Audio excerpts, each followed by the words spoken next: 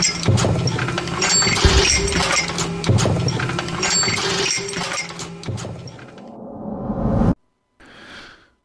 back, I'm Gordon and in this uh, short episode I will talking about the powder models of the Gordon's reloading tool and their development. Unlike the projectiles and caliber models, the powder models are most important, cannot be provided by the user of GRT directly and require hard work and effort to create. The video should not only explain how we develop the powder models, but also be a motivation for you to share your measurements and with us and to support the project in general. I have received a lot of questions and how the powder models are made and how our users can participate in the model development. However, before I tackle the uh, powder models development, I think I should describe GRT in a general manner for potential new users. The Gordon's reloading tool, GRT for short, is an internal ballistic simulation program for reloaders and ammunition developers and provides a free alternative to QuickLoad. As such, GRT is an additional tool that can expand the reloader's access to scenarios not covered by normal reloading manuals. It should, however, always be used in conjunction with uh, manufacturers' published data whenever possible. Free means that the software is free of charge but is supported by voluntary crowdfunding and participation by the world's reloading community.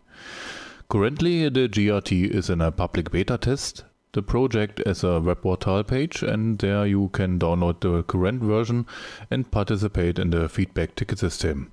In order to download, the address is www.grtools.de. I put the link to the portal and also the link to our Discord server into the video description below. Discord is our primary communication platform for experiences, information and also data on the GRT. Now to the powder models. The powder models in GRT are basically nothing more than mathematical models to describe the combustion behavior of a propellant powder. The powders differ drastically depending on the manufacturer and type, which is why a separate powder model is required for each individual powder type. I don't want to bother you with uh, mathematical basics, but in principle, the powder models have to be adjusted to the inner ballistic equations. The basis of a powder model is a measurement of the powder in a so-called manometric or closed bomb. The closed bomb is a measuring method or measuring device equipped with pressure sensors in which a certain amount of propellant powder is burned. The resulting pressure curve um, can then be converted into an abstract model using mathematical methods. Unfortunately, the bar powder model cannot be used directly with the internal ballistic simulation. The powder behaves somewhat differently when dynamically burning in the weapon than in the sealed vessel. In order to match the energy balance and the behavior of the internal ballistic equations, the models must be calibrated with uh, real ballistic data. By the way, this is one of the reasons why QuickLoad powder models are in principle incompatible with GRT. GRT and QL are both cars that use gasoline engines, but uh, with quite different year of construction, design and equipment, so to speak. Powder measurements from the closed bomb are usually provided by the powder manufacturers for some, you have to ask and beg for others, uh, such as Reload Swiss, Nitrochemie, and Rheinmetall. In general, the cooperation is excellent. At this point, our greeting and our thanks to Dominik Antenen of Reload Swiss. Some powder manufacturers don't react or don't want to share data like Vectan, Lovex, and all the US powder manufacturers. Here only reverse engineering of the powder models is an option. The development of the models can also be done backwards. Depending on the type, extent and effort required, the pressure bomb measurement can also be investigated. For the development of the powder models, we have a small team consisting primarily of Charlie in the US, Cassie from South Africa, and myself. For the measurements, we have developed a method that uh, allows us to obtain the maximum possible information.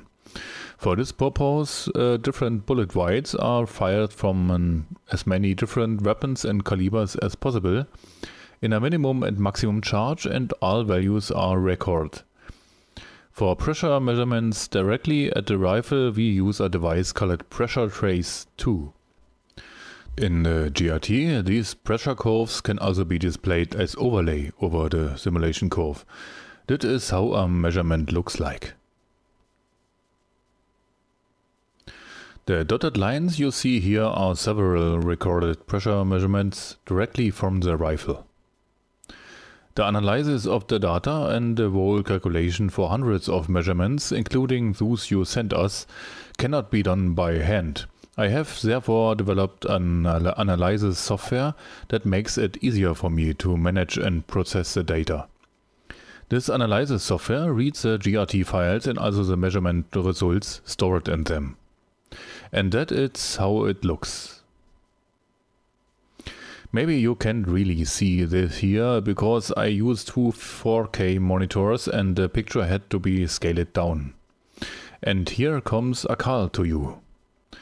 Whenever you take a measurement of a load, even if it is only the speed, please send us a GRT load file with your results.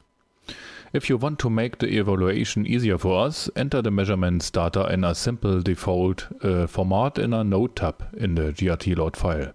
I have linked an example file below in the video description.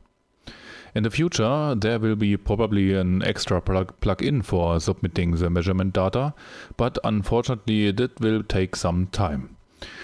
Only through continuous measurement and control can we keep powder models up to date, improve them and develop new models. It is important for submitting data that they really contain the measured case volume and the real bullet length. You can add as much information as you want and think it would be helpful. Finally, my big thanks to everyone who supports the project via data or cooperation, and especially thanks to my Patreons and supporters via PayPal.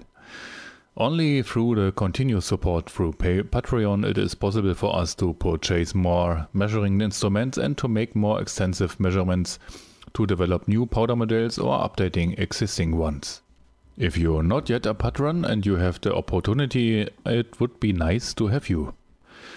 That's all. If you want to know more about the technical details here and I should make more videos about it, just leave me a comment under the video or write me a message.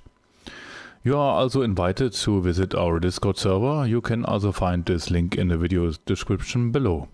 Thank you for watching. Until then.